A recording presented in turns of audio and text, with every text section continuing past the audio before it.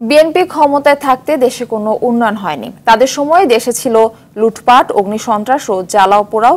এ অভিযোগ করেছেন রেলমন্ত্রী নুরুল ইসলাম সুজন। দুপুরে গাইবান্ধার বোনারপাড়া স্টেশনে রামসাগর এক্সপ্রেস ট্রেনের উদ্বোধন উপলক্ষে আয়োজিত অনুষ্ঠানে তিনি এই অভিযোগ করেন। দীর্ঘ প্রায় এক যুগ পর গাইবান্ধা থেকে চালু হলো রামসাগর এক্সপ্রেস ট্রেনটি।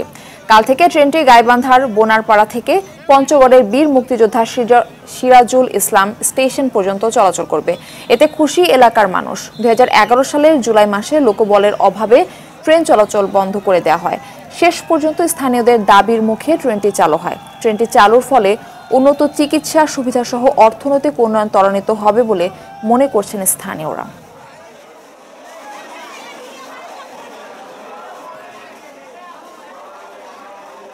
বিএনপি এবং জামাত নির্বাচনে ভয় পায়।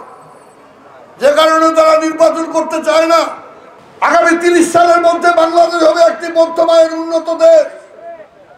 একচল্লিশ সালের মধ্যে বাংলাদেশ হবে উন্নত সমৃদ্ধ বাংলাদেশ।